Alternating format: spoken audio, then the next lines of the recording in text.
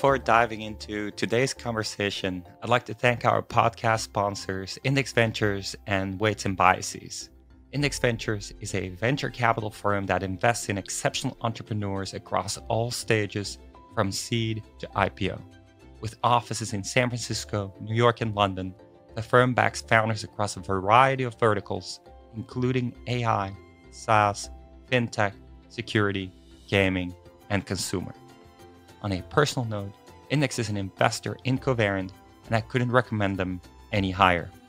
Weights and Biases is an ML ops platform that helps you train better models faster with experiment tracking, model and dataset versioning, and model management. They are used by OpenAI, NVIDIA, and almost every lab releasing a large model. In fact, many, if not all of my students at Berkeley and colleagues at Covariant are big users of weights and biases. Station, this is Houston. Are you ready for the event? Houston Station, we are ready for the event. Robot Brains Podcast. This is Mission Control Houston. Please call station for a voice check. Station, this is Dr. Pieter Abbeel with Robot Brains Podcast. How do you hear me? Hey Pieter, I have you loud and clear. How do you how me? Wonderful. I can hear you so well. Woody, today's episode is pretty crazy for me. Um, I'm connected with NASA astronaut Dr. Woody Hoburg, who's at the International Space Station at this very moment. Woody, I can't believe this is happening. Talking with you as you're up at the International Space Station. So excited to have you on the show. Pieter, thank you so much. I'm so excited to talk with you today. And I have to say, your podcast is, has definitely one of the coolest names of any podcast out there. Thank you, Woody. Now, Woody, you grew up north of Pittsburgh, Pennsylvania. You did your undergraduate at MIT. From there, came to Berkeley, where I had the great honor to be your PhD advisor. Then you spent some time at Boeing and became professor at MIT. Quite the career already. But then, as professor at MIT, you got the opportunity to go into NASA's astronaut training, and here you are, achieving your lifelong dream. What did it feel like as a pilot of SpaceX Crew 6 to pilot a rocket into space and get to the ISS? Well, Pieter, it, it felt amazing. I can still remember. Uh, well, first of all, the ride was absolutely incredible. We get up to uh, around four Gs on both the first and second stage, so it's just an absolute uh, sports car of a rocket. Truly a thrill. And then at second engine cutoff, we're suddenly weightless.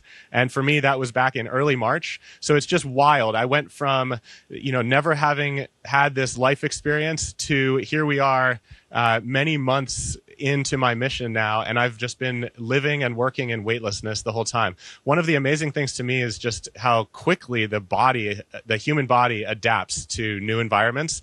I feel like I've lived and breathed that every day up here. So you think it's going to be a big surprise when you get back on Earth, several you know months down the line, and just have to deal with gravity again? Yeah, it's definitely that's actually one of the uh, things we spend a lot of time on up here is just exercise. We know that the uh, human body uh, is challenged living in weightlessness and then returning to a 1G environment. So things like bone density and muscle mass are things that we really have to work hard to maintain up here. Um, just because we're completely unloaded at all times. Actually, interestingly, my spine also grew uh, several inches just from uh, not being under load up here. So lots of changes, and we work hard every day to uh, do those countermeasures that are really crucial to our rehabilitation when we get back to Earth. Wow, I didn't realize you, you would you would grow. I mean, this seems like uh, basketball players might want to uh, join you in space sometime. now, Woody, we also have you on video. So, is there any chance you can show something off to, to showcase you are truly in a essentially zero gravity, technically microgravity environment? Yeah, we're actually uh, we're in free fall all the time. So we are in low Earth orbit here. We're about 250 miles above Earth. There's tons of gravity up here, and that's what's keeping us in orbit. But because that gravity is acting on me with exactly the same force that it's acting on the space station, and there's no other external forces, I'm completely weightless here. And so uh, everything floats, the microphone floats, and there's really no up or down. We kind of designate uh, the way that I've been appearing on camera this whole time. We kind of designate this as right side up. Uh, toward my head right now is away from Earth. Down toward the floor is towards Earth. Um, but really, all of the different orientations I could be in feel exactly the same to me. It's one of the remarkable things up here. Now, Woody, flying rockets, being in space are obviously mind boggling achievements and experiences. Um, being at the ISS, what you're doing there, how would you say it's impacting humanity today and in the future? I love that question, Pieter. I think humanity has an innate uh, desire for, to explore. And I think that this is one big part of uh, uh our constant exploration as humanity. I see the ISS's contribution as two main things. Number one, it's the science return. So we've had a continuous present human presence up here for over uh, 22 years now and counting. And uh, over that time period, we've done literally thousands of research experiments. And this it tends to focus on things that can only be accomplished here in this weightless environment. Things like novel protein folding or manufacturing structures that can't hold up under their own weight, but are nevertheless interesting structures. Or studying uh, the human body and our adaptation to this unique environment. And so this uh, scientific research is relevant both to applications back on Earth, and then it's also relevant as we look to explore with human space exploration uh, deeper into the solar system. And then number two, I see this place as a proving ground. So our experience living and working in space up here over that long time period has really taught us. And as you know well, uh, it's one thing to implement new algorithms, but sometimes you really have to put it on the real robot, on the real hardware, you know, roll out your policy and see how it actually performs. And so we need this real proving ground where we can test out our tools and techniques and uh, use them as we move forward ultimately to the moon and Mars. And those are our next goals in the next decade. Well, I love both of the, the main things you highlight there the, the scientific advances that are, are possible thanks to experiments there and humanity moving forward beyond Earth at some point, uh, which speaks to many people's imagination, obviously, and might even be necessary in case something happens on Earth that we can't um, uh, defend ourselves against in some way or other. Going to the science first. Um, are you able to say something about specific scientific experiments you've done and their potential impact? Sure, absolutely. Um, I, I've had the great pleasure to work on probably tens to hundreds of different uh, scientific research projects while I'm up here. So it's been really amazing. Um, a number of them are actually on work doing research on myself. So I am, in fact, the test subject. So one example there is I'm actually eating a modified diet up here. Um, I'm eating a lot of fish, some extra lycopene, and we're actually studying how that modified diet um, affects my immune system and um, some other measurements relevant to my adaptation to uh, long duration space flight. Another uh, example that's where I'm not the research subject um, was something called engineered heart tissues and another similar study called Cardinal Heart. And in both of those, we're looking at um, tissue chips and uh, heart muscle cells. And it turns out that heart muscle cells actually um, degrade more quickly up here in a weightless environment than they do on Earth. And so we're actually using this environment as a testing uh, as a test ground to study treatments for things like heart disease. And so that's uh, I, I, really enjoyed working on that one just because uh, it does seem to have such you know relevant payoff back on Earth. That's amazing. Um, I'm curious when you mentioned the uh, immune system, Woody. Um, I imagine when you're up in, in space, you're not exposed to a whole lot. Um, do you explicitly expose yourself to things then to to test it? No, we try pretty hard to keep the uh, the any pathogens off the space station. We actually have a quarantine period before launch, uh, just to make sure that we're as healthy as possible before we arrive. And then we also do a fair amount of testing. So we test our water, um, we we do some just swabbing around the uh, space station, looking for uh, things like fungi and other microbes. Um, so we're constantly testing and making sure that we um, don't have anything like that up here. Oh, well, that, that's kind of a relief actually, because I don't think it'd be easy to uh, deal with anything up there. Um, one of the things that that you mentioned, the other thing you mentioned on the science side is new materials, um, new biological experiments like protein structures. Um, can you say a little bit about that? What, what what's the dream there? What what could happen if some of these experiments are successful?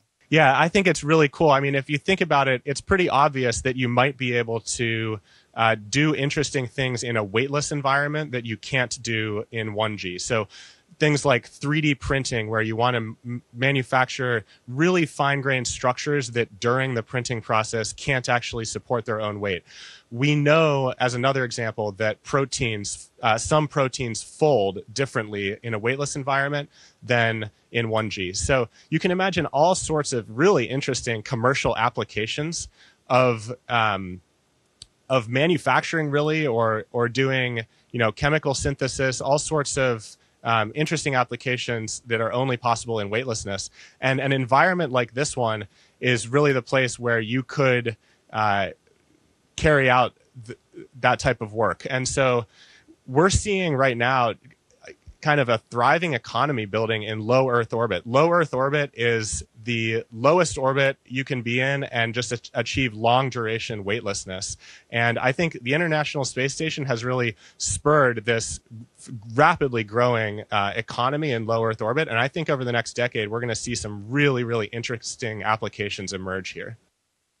So, could I imagine that we effectively have factories flying around in low Earth orbit building things that would be really hard or impossible to build on Earth, and somehow some rockets ship things back and forth.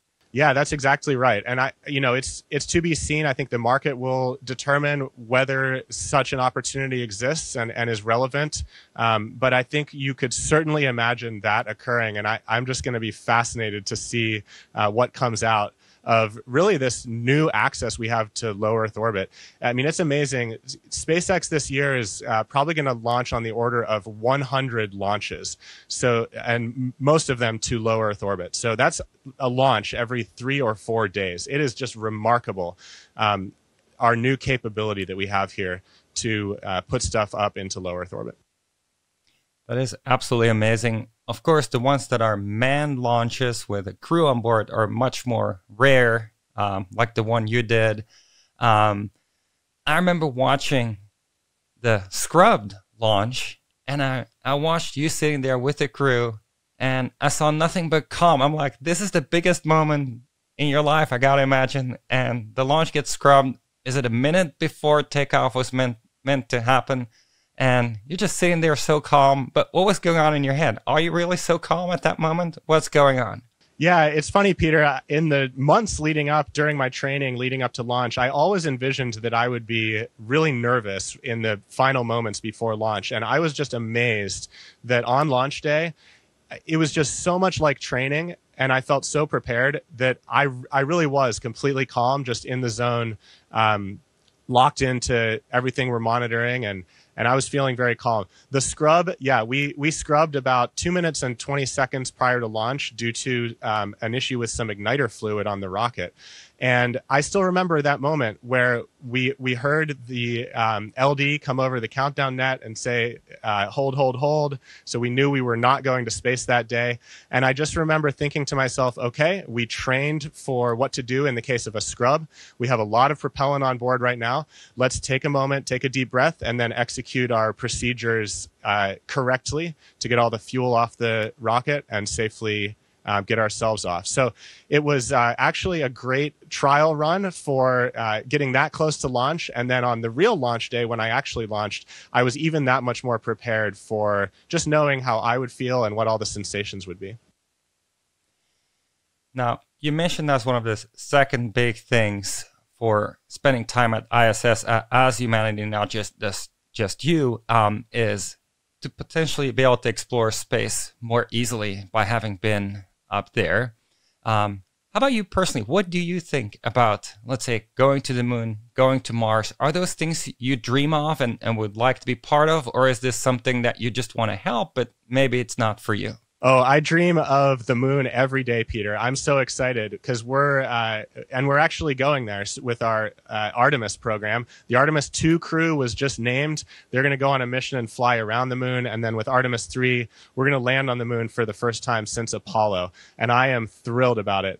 Um, I remember in college as a young engineer, kind of lamenting the fact that I was not alive during Apollo, and I felt like I kind of missed out on such an exciting time. And I, I really never would have dreamed that I would be kind of right in the thick of it, be a, a part of um, our new effort to go back to the moon. And I actually see a great analogy. We're kind of in a transition period right now. So I see an analogy to the ISS. The ISS has been such an incredible proving ground for technologies and operating in space. And that's exactly what we're going to go set up on the moon now. We're going to set up a proving ground and we're going to test out and mature all of the technologies and techniques that we need ultimately to put humans on Mars. Wow. Wow. Now, talking about college and, and really your your upbringing and so forth, I remember when you got to Berkeley, Woody, you pulled me aside and you said, Hey, I'm not gonna be your your typical PhD student. Yes, I'm gonna try to do amazing research. That's what I'm here for. But I'll do some other things that might surprise you, but it's all part of a big plan, a big dream of maybe, hopefully, becoming an astronaut someday, knowing that's unlikely to happen, but you want to try everything you can to, to get that chance. Um, when did you know that that was going to be the thing you're pursuing? And from there, now that you are here, you know, how, how do you feel about it? Like, is what does it feel to make your life dream come true? Yeah, it's a funny thing, Pieter, because I know as a as a young kid, like I think many kids, I thought being an astronaut would be just the coolest job, the coolest thing. I also really had no idea how to achieve that goal, and it also just seemed like far too improbable of a goal to ever set my heart on. And so the one thing that I could do was just kind of pursue things that I found interesting and challenging and pursue passions uh, that I felt in the moment. And so you enabled one of those, as you know, as I was pursuing my PhD in your lab. I was doing a lot of rock climbing. I was getting really interested in search and rescue. And I told you, hey, I, I want to spend some summers uh, working rescue in Yosemite. And I, you know, to this day, I can't thank you enough for your open-mindedness in uh, allowing me to go do that, um, to take some summers away from the lab. And I did a lot of great research on my laptop from the STAR cache while I was out there. Um, studied a lot of math that ultimately kind of became my PhD thesis. But yeah, things like that. Um, I'm grateful for uh, people like you that allowed me to really pursue my passions in every moment along the way. And uh, I feel really lucky. Uh, I know there was still a bit of luck involved in getting here, and I'm just so uh, lucky and blessed to uh, have this opportunity. Well, Woody, knowing you the way I know you, and we've known each other both professionally, but also in our personal lives. I mean, I, I could not be more proud to have you up there, and I could not imagine a, a better representative of humanity to be up at the ISS and maybe beyond in, in the future. Woody, thank you so much for making the time. Uh, I can't believe this actually happened. Um, so impressed and proud of you. Um, thanks for making the time. Pieter, thank you. It's always a pleasure to talk with you. Uh, you're making me miss whiteboard sessions, just talking about math in your office. Um, great times. I always tell people that you are the hardest working human I've ever met, and that remains true to this day. Um, I love everything you're doing, and uh, thank you so much for the opportunity to come on the podcast, Pieter. Thank you, Woody. Station, this is Houston ACR. Thank you. That concludes our event. Thank you to all the participants from the Robot Brains podcast station. We are now resuming operational audio communications.